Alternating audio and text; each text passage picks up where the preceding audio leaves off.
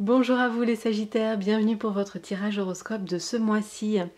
Pour ce mois-ci, nous allons utiliser le reflet de lune, un le normand, et son grand frère, un oracle, l'oracle des reflets. Ce sont deux jeux que j'ai créés, donc vous les retrouvez sur ma boutique, euh, dont vous avez le lien juste en dessous en barre d'infos sur mon site. Et euh, nous allons donc les utiliser ensemble et vous allez voir, euh, je m'amuse un petit peu depuis le début de, de, ces tirages, vraiment les utiliser ensemble, je trouve qu'ils se répondent très très bien.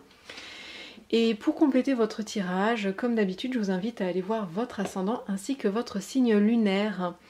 Je vous invite aussi à vous abonner à la chaîne pour ne louper aucune vidéo et on va commencer tout de suite. Donc on va faire un tirage semaine par semaine comme d'habitude. Parce que c'est un tirage qui pour moi fonctionne, euh, je trouve qu'il fonctionne très très bien pour avoir un aperçu sur tout votre mois.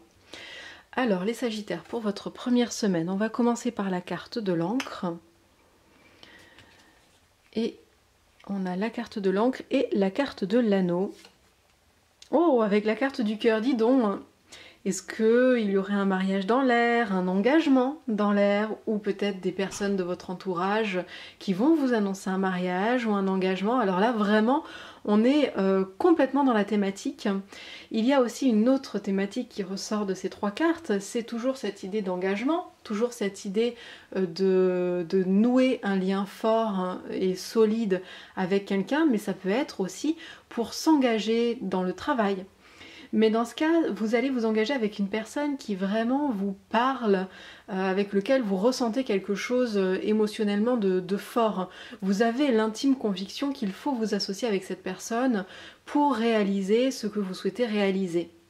Je parle pas d'émotions euh, amoureuses, je parle d'une impression vraiment très forte, d'une intuition très développée et qui, euh, qui vous envoie des, signaux pour vous dire c'est avec, avec cette personne-là qu'il faut s'engager, c'est avec cette personne-là que euh, tu vas pouvoir monter, concrétiser tes projets. Voilà, on est dans cet ordre d'idées et là ça va vraiment être... ça va vous sauter aux yeux en fait. Voilà, ça va parler à votre cœur en tout cas.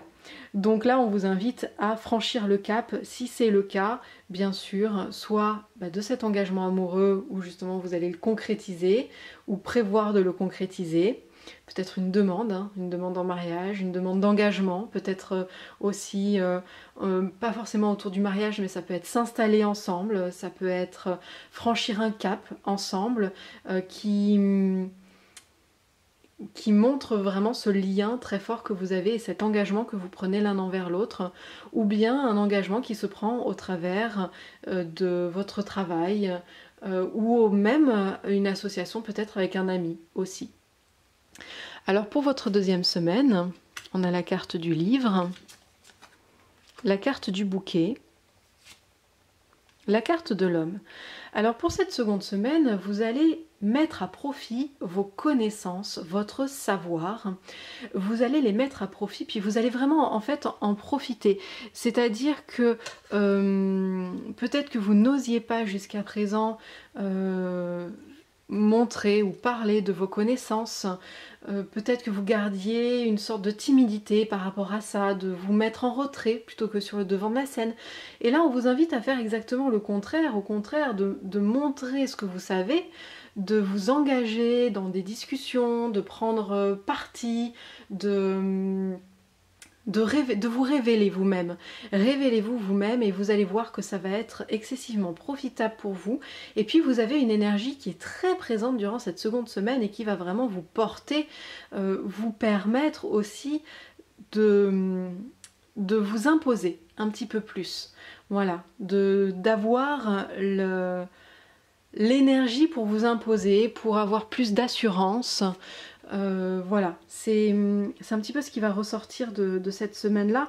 Il y a cette idée de faire ça avec... Euh, non pas de vous, de vous imposer en mode je mets les pieds dans le plat, euh, euh, de façon brutale, mais au contraire de faire ça de façon très euh, saine, de façon très douce. Avec la carte du bouquet, on a une carte qui est liée aussi à l'affection, donc on fait les choses avec rondeur, avec douceur, avec... on les fait pas contre quelqu'un ou contre des opinions, on le fait pour soi et parce qu'on a des choses à dire, des choses à communiquer, dans le respect aussi des autres, par exemple. Voilà, on est dans une, dans une énergie aussi très respectueuse. Alors pour la troisième semaine, nous avons la carte de l'homme, c'est la seconde carte homme, donc celle de, de l'homme un peu plus mature, puisqu'il y a deux cartes homme et deux cartes femme dans ce, dans ce jeu. Et on a la carte des montagnes et la carte de la peur. Alors ça va être une semaine un petit peu plus compliquée ici les Sagittaires, c'est-à-dire qu'il va y avoir des peurs qui vont vous freiner et peut-être la peur aussi vis-à-vis d'un homme, euh, d'un homme qui a euh, peut-être plus d'expérience que vous, qui est plus mature. Euh, ça peut être un homme avec un petit peu de poigne, comme ça pourrait être un patron, ça pourrait être un supérieur, ça pourrait être un, votre père, votre grand-père, euh, voilà, quelqu'un qui, qui a entre guillemets, je mets bien des guillemets, attention, de l'ascendant un peu sur vous. Euh, c'est-à-dire qu'il est dans une position un petit peu plus de force par rapport à vous. Et ça va être compliqué pour vous de vous imposer par rapport à cette, cette personnalité qui est assez forte et pour laquelle vous avez du mal à vous acclimater. C'est un petit peu difficile. Là, avec la carte des montagnes, on a bien cette idée de, difficulté, euh, des obstacles. C'est un petit peu un challenge. Il y a quelque chose qui résiste dans cette relation. Quelque chose qui résiste et qui est lié à une peur que cela vous... que cette personne... Euh, cette personne appuie sur une de vos peurs.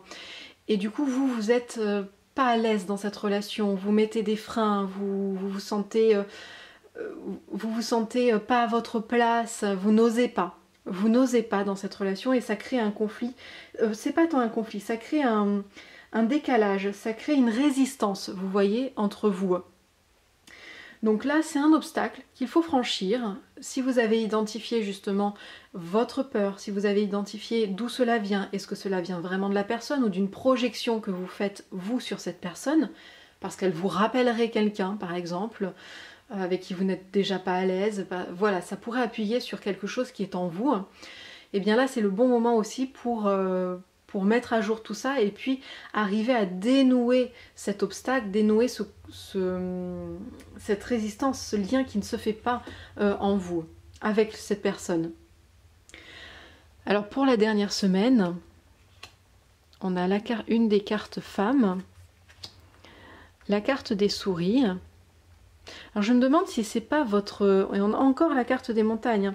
Je me demande si vous n'osez pas, par exemple, affirmer votre part féminine euh, vis-à-vis de cette personne, affirmer ce que vous avez en vous, vos émotions, affirmer votre peut-être un côté un petit peu plus... Euh, euh, plus à l'écoute, vous êtes peut-être une... ou en ce moment, durant ces deux dernières semaines, vous avez besoin non pas d'être dans l'action, mais plus d'être dans l'écoute, dans le ressenti.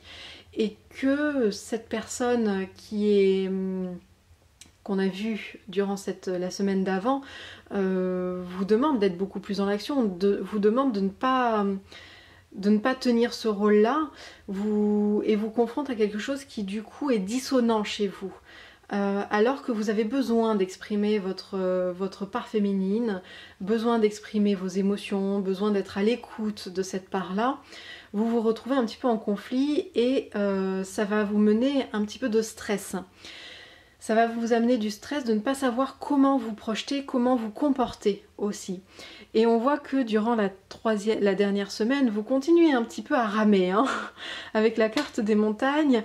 Par contre, par contre, vous vous projetez beaucoup plus facilement et vous arrivez à voir aussi que si vous arrivez à dénouer ce lien, il y a quelque chose d'un petit peu plus... Euh, vous voyez, le sommet ici est éclairé, donc il y a quelque chose de positif qui va en ressortir.